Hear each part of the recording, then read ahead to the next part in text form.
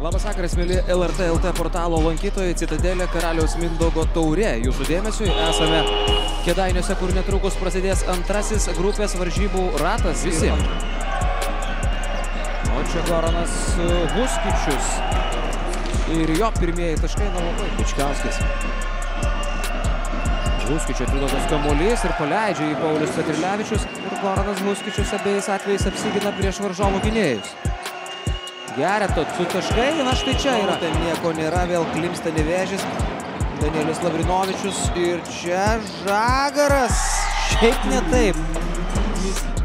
Net ir Hendofą nepavyksta sužaisti Brazilui. Timas Lambrechtas, Tebekas, 3 taškai, rezultatas lygus. Ir laukia to kvinteto, to penketuko, kuris ateis pas juos į tą etapą. O čia klysta nevėžis. Triukšmingų būgnais ginkluotų, gerklėmis uh, užtaisė gerklės ir vėliavas uh, iškėlė jo BC LKL. O dabar Deivisonas užsitaiso, šauna pro šalį, bet Paulius Petrilevičius įleista.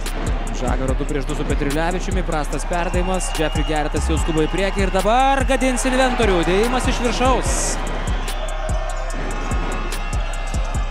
Valeikos užtvara, Šulskis, Taiklus metimas iš trijų taškų. Kaip dainavo Irma Jurgelevičiūtė. Ir štai kaip tą sekundę buvo pasiruošę išnaudoti šeimininkai Lambertui. Šis Petrilevičiui. Petrilevičius Žagarui. Žagaras!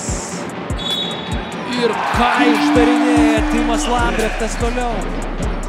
Lambrechtas, wow, kokį šokį sušoka su Geretu ir atlieka rezultatyvų perdavimą Žagarui. Trys taškai, minusinis, o prieš Kedainius Štai toks puikus ir solidus. Dar be pražangos Lambrechtas skuba į priekį. Bičkauskis buvo užsiemęs poziciją, bet Lambrechtas atlieka savo laikį perdavimą. Na, o čia grįžtame į Citadelę Karaliaus Mindaugo taurės batalijas ir nevėžys įsiveržia į priekį. Valinskas. Marcinkevičius. Lavrinovičius iš toli gali pataikyti, tikrai turi smagę rankelę ir nevėžys. Marcinkevičius, Petrilevičius. O, kaip užmygo Šulskis. Mes vis dėlto turi tris pražangas, ne keturias. O, oh, yeah. Goranas Huskičius. Bičkauskis. Geretas dar kartą laisvas, dar kartą iš toli. Sulaužo Jonavos e, Sybet komandos pasipriešinimą ir nusipelno laimėjimo Gediminas Petrauskas. Įveikia Virginijų Šeškų. Va taip,